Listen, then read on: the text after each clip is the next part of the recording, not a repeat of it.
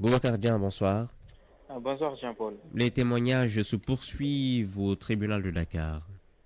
Oui, effectivement, après Aïssataba, donc c'était au tour tout à l'heure euh, du docteur Alfousseini Gaï.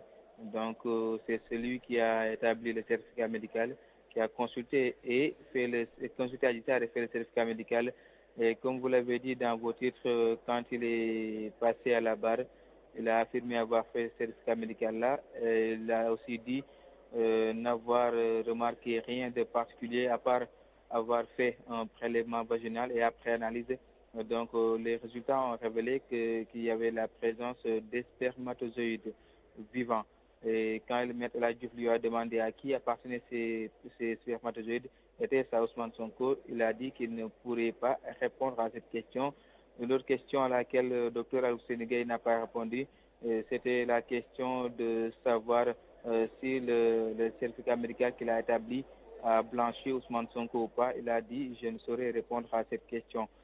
C'est comme ça qu'il a terminé ses propos avant de poursuivre par euh, ceci que voilà, donc il a consulté Aïssar, il est revenu sur ce propos, il a consulté, rien de particulier, et qu'il ne peut pas dire qu'il y a viol ou pas.